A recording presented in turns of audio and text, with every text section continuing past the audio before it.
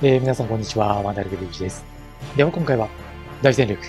鋼鉄の旋風日本軍プレイリベンジ、続きをプレイしていきたいと思います。えー、前回はマレー電撃戦ですね、ここも大勝利で飾ることができましたので、えー、次のステージへと進んでいきたいと思います。はい。えー、今回の作戦ですが、東南アジア諸島の制圧による南方資源の確保ということで、えー、部隊をスマトラ島からあ侵入させて、インドネシア一帯の確保とというのが作戦の内容になります。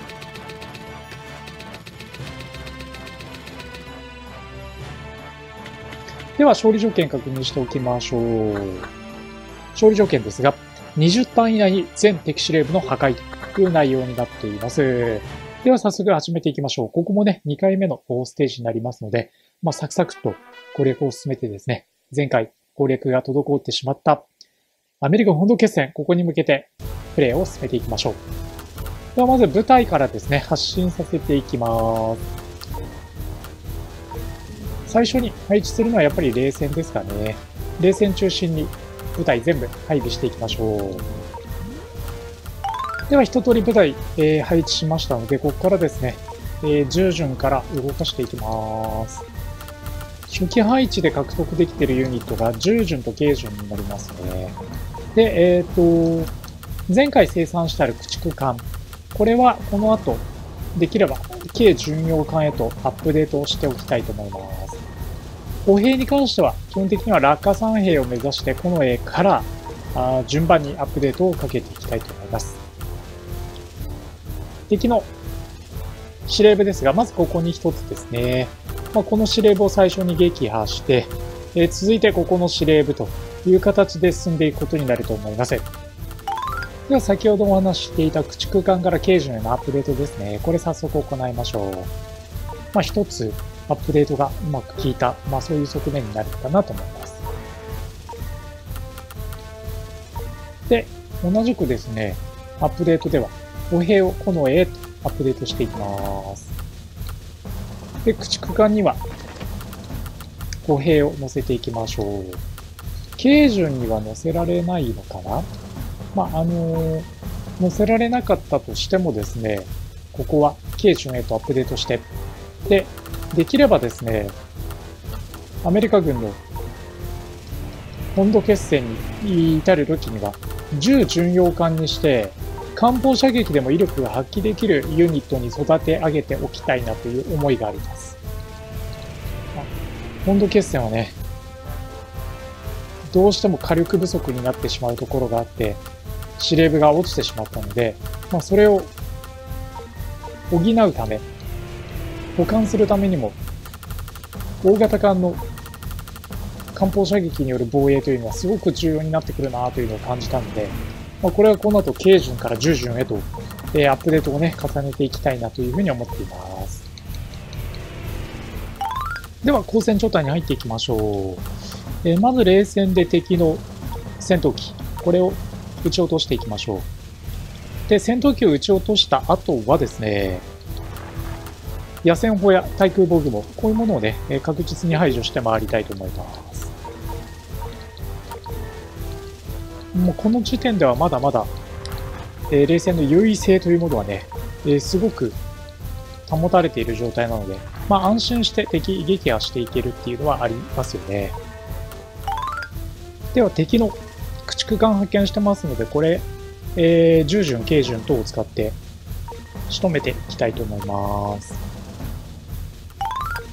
魚雷攻撃も10順できるんですよね。まあ、これは本当にその、帝国海軍の10順ならではあの部分なんですよ。ね。アメリカ軍なんかの10順なんかは魚雷攻撃ができないんですけど、まあ、あの、帝国海軍の従順は魚雷攻撃なんかもしっかり、えー、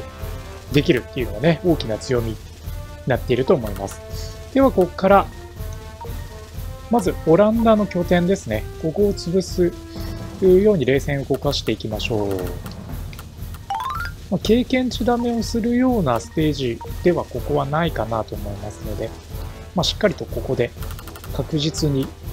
一つ一つ攻撃を加えていって、早めに司令部を落としちゃいましょう。では、部隊上陸させていきます。ここにいるのは敵の歩兵がいますね。動員兵。まあ、落下3兵だったら十分に撃退できると思います。まあ、この辺りはしっかり撃退して、味方が損害出ないようにね、えー、気をつけましょう。というところなんですが、どうやら敵も必死の守りに来てますね。だいぶ味方と航空機に、まあ、損害が出てしまってます。では、司令部に攻撃仕掛けていきましょう。このターンで確実に、この敵の司令部は、排除しておきたいので、まあ、しっかり攻撃をね、入れていきたいところですね。では、これで、オランダ軍、司令部撃破完了です。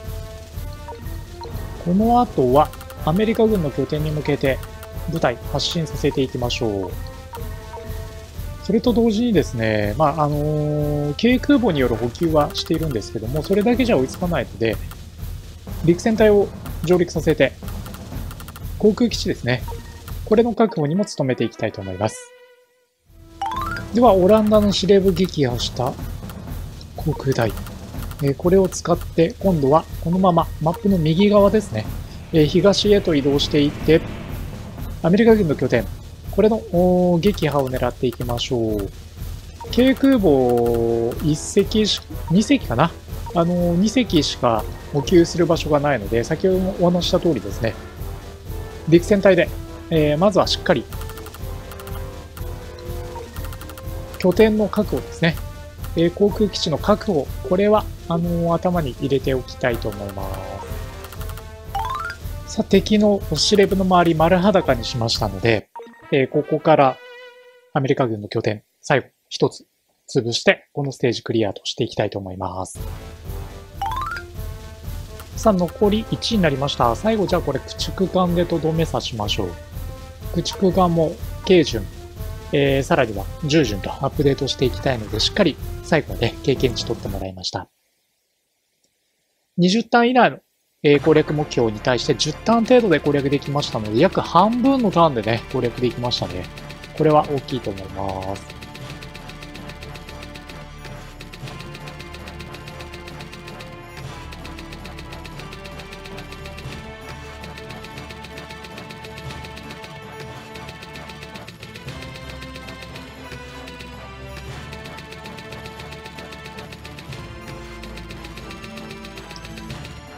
はい。えー、では、今回はここまでにさせていただいて、えー、このリベンジプレイですね、えー、次回また続きをプレイしていきたいと思います。